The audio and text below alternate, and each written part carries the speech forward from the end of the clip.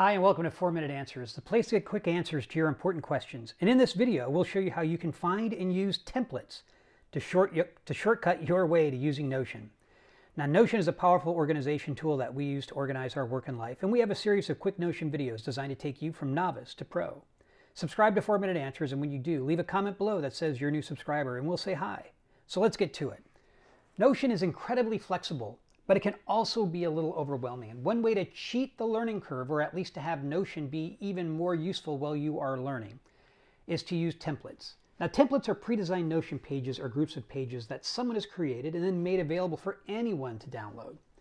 Notion has a set of templates that it makes available, but if you were to Google Notion templates, you'll find that there are many other people that have created templates for Notion.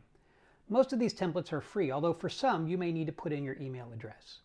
Now, templates can be a great way to see how someone else uses Notion to solve a problem. And you can download it, play around with it, customize it, and if you like it and you decide to keep it, you can do so without any additional cost. This is how I came up to speed. And while we currently only use pages that we've built ourselves. I did use templates to get started and to learn the ropes. Now to get templates, look near the bottom of your navigation panel over here on the left, and it says Templates. You click on Templates, and a box will, will come up that has several categories of templates, design, education, engineering, etc. So let's say you want to just uh, explore, and my guess, my suggestion is that you hit the toggle switch on any of these uh, and it will expand.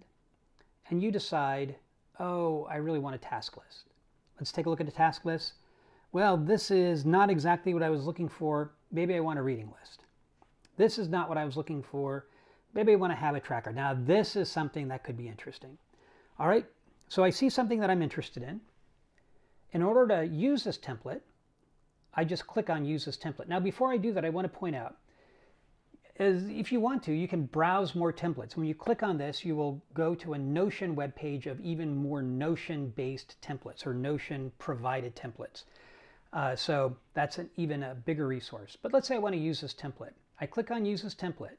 And what it does is it creates an exact duplicate on my navigation bar over here.